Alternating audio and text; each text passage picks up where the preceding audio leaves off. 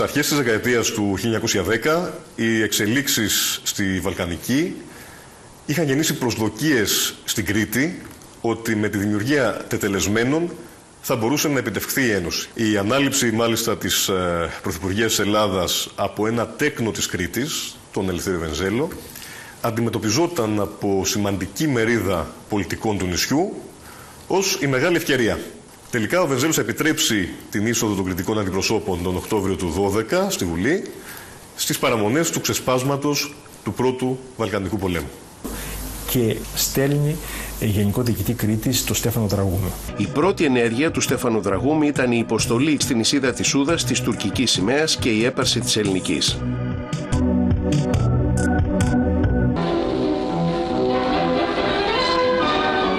Επιβαίνων Αμερικανικού στρατιωτικού αεροπλάνου έφτασε στις Αθήνες ο Υπουργός των Ναυτικών των Ηνωμένων Πολιτειών κ. Κίμπαλ. Στο αεροδρόμιο του Ελληνικού τον υπεδέχθησαν ο Αμερικανός επιτετραμένος κ. Ιώστ, ο Υπουργός της Εθνικής Αμύνης κ. Πιτσίκας και οι εκπρόσωποι της ελληνικής στρατιωτικής ηγεσίας. Ο κύριος Κίμπαλ επιθεωρεί το παρεταγμένο τιμητικό απόσπασμα και χαιρετά διά χειραψίας τους ξένους στρατιωτικούς ακολούθους. Στο αεροδρόμιο, ο Αμερικανός Υπουργός εδέχθη τους Έλληνας και ξένους δημοσιογράφους και προέβη εις δηλώσεις επί της σημασίας του ταξιδίου του.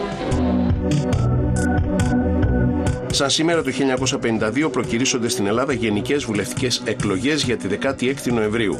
Ορκίζεται η υπηρεσιακή κυβέρνηση υπό τον εισαγγελέα του Αρίου Πάγου Δημήτριο Κιουσόπουλο. Ο αριθμός των εδρών του Κοινοβουλίου είναι τώρα σταθερός, μη μεταβαλλόμενος, 300 έδρες. Ο Γιώργο Παπανδρέου συνεργάζεται με τον Ελληνικό Συναγερμό, εξασφαλίζοντας έτσι την παρουσία του στη Νέα Βουλή. Το σύστημα, ύστερα από συμφωνία Παπάγου και Πλαστήρα, είναι πλειοψηφικό. Στις εκλογές αυτές είναι που η ΕΔΑ, που εκπροσωπούσε το παράνομο Κομμουνιστικό Κόμμα Ελλάδος, έριξε το σύνθημα Τι Παπάγος, τι Πλαστήρας.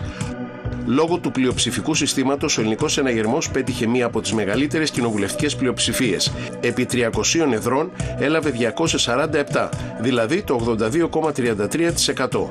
Η ΕΔΑ έμεινε εκτός κοινοβουλίου. Στις 19 Νοεμβρίου 1952 ορκίζεται πρωθυπουργός ο Αλέξανδρος Παπάγος.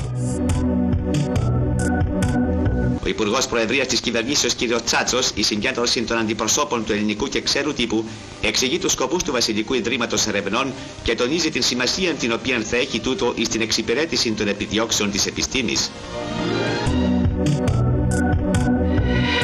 300 αντιπρόσωποι δημοσιοϊπαλληλικών οργανώσεων έλαβαν μέρος στο 19ο Συνέδριο Δημοσίων Υπαλλήλων, το οποίο οργανώθη υπό τη ΣΕΒΕΔΗ. Τούτο εισχωρήθη με τα διάφορα συνδικαλιστικά προβλήματα του κλάδου, καθώς και με θέματα αναδιαρθρώσεως της δημοσίας διοικήσεως.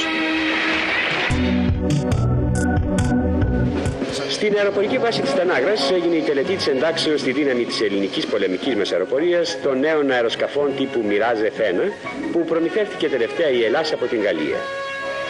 Στην τελετή της εντάξεως, στην οποία παρέστησαν η πολιτική και στρατιωτική ηγεσία των ενόπλων δυνάμεων της χώρας, δόθηκε η ευκαιρία να τονιστεί όχι μόνο η αποτελεσματικότητα του νέου αυτού όπλου, αλλά και η ετοιμότητα και η πίστη στην αποστολή των ενόπλων δυνάμεων στα καθαρό στρατιωτικά τους καθήκοντα, που είναι η προστασία του ελληνικού εθνικού χώρου από οποιαδήποτε έξωθεν απειλή.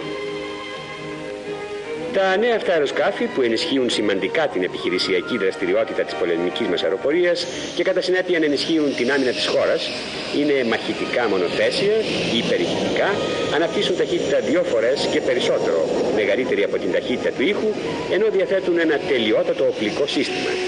Στην διάρκεια της εναερίου επιδείξεως, στην οποία έλαβαν μέρος αεροσκάφη Mirage F-102 και F-104 και Phantom, δόθηκε η ευκαιρία στους παρισταμένους να θαυμάσουν όχι μόνο τα τεχνικά πλεονεκτήματα των νέων αεροσκαφών, αλλά και αυτό είναι το σπουδαιότερο, την ικανότητα και την επιστημονική κατάρτιση των πληρωμάτων.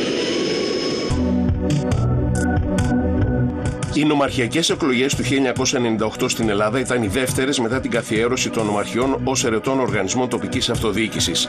Έγιναν σαν σήμερα το 1998 παράλληλα με τις δημοτικές και κοινοτικές εκλογές και για την ανάδειξη ενός συνδυασμού νικητή απαιτεί το απόλυτη πλειοψηφία. Όπου αυτό δεν επετεύχθη, η εκλογή επαναλήφθηκε στις 18 Οκτωβρίου με τη συμμετοχή μόνο των δύο συνδυασμών που είχαν λάβει τις περισσότερες ψήφους. Στο Δήμο της Αθήνας επανεκλέγεται με 57,2% ο Δημήτρης Αβραμόπουλος.